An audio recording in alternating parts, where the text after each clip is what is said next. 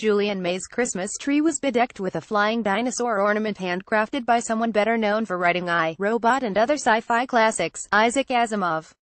Author Ray Bradbury used to bounce her son on his knee. Before becoming a popular science fiction writer herself, Ms. May grew up in a Cape Cod home in Elmwood Park, attended Trinity High School in River Forest and landed her first job at Burny Brothers Bakery at 2445 in Harlem. Her books included two sprawling sci-fi sagas, the four Saga of Pliocene Exile novels, and the six-book Galactic Milieu series.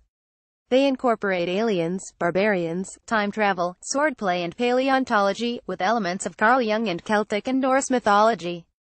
Ms. May, who wrote 19 science fiction and fantasy novels and more than 250 young adult nonfiction books, died of a heart attack October 17 at Overlake Hospital in Bellevue, Washington. She was 86. One of her biggest fans is Nick Dudman, the Oscar-nominated wizard of makeup, prosthetics and fantasy creatures in the Harry Potter movies, who said he's working to develop her books into a TV series, The Saga of the Exiles. I devoured them, he said of the books. The characters are wonderful, the sequencing is amazing, and the ideas behind the story are so bold. He visited her at her home near Seattle and discovered this lady who was a force of nature, passionately living life to the full in her 80s. You don't meet many ladies of that age who head off in a truck to go fishing armed with a big stick in case she met bears. Julian May crafted stunning costumes for sci-fi conventions. Family photo growing up near Grand in Harlem, she was known as Julia. She changed it to Julian at a very young age, her son Alan Dikty said. She preferred the sound of it. Her father was an engineer at a tool company and her mother a department manager for Montgomery Ward. While in college at what's now Dominican University, Ms. May sold her first sci-fi story, about aliens wielding balls of fire in an attack at the Indiana Dunes. Dune Roller appeared in astounding science fiction. In the 1970s, it was made into a B-movie that played at drive-ins, The Cremators. In 1951, she met Thaddeus Eugene Dikty, who would become her husband and a publisher of sci-fi and fantasy, at a science fiction convention in Port Clinton, Ohio, according to their son. In 1952, she chaired the 10th World Science Fiction Convention in Chicago, the first woman to do so.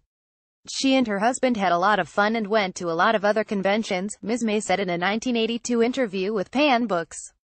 She said she sold one more sci-fi story and then quit the field for 26 years.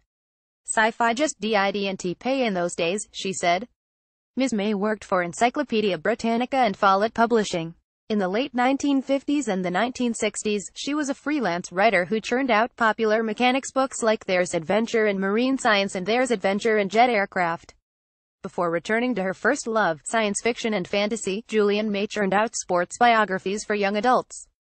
In the 1970s, Ms. May turned out sports biographies including Muhammad Ali, boxing superstar and Jim Brown runs with the ball.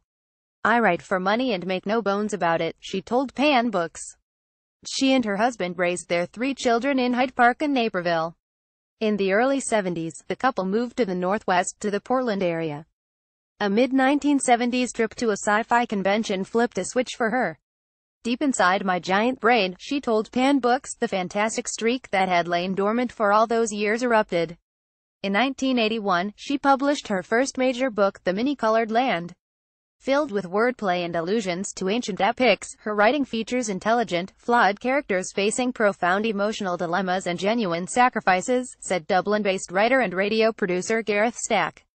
The scope, ambition and sheer scale of both her major series would require a visual treatment that would dwarf Game of Thrones in scale.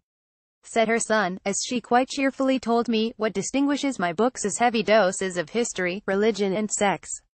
Her final series, the Boreal Moon Trilogy, was published about a decade ago. Ms. May is also survived by her daughter Barbara and son David, sister Joan May Elias and brothers Robert and Daniel. Her family said her ashes have been scattered in the Washington state wilderness. Julian May and her husband T. Dikty were members of the Society for Creative Anachronism. Here, she's dressed as a medieval English gentlewoman and he as a Polish lord. Family photo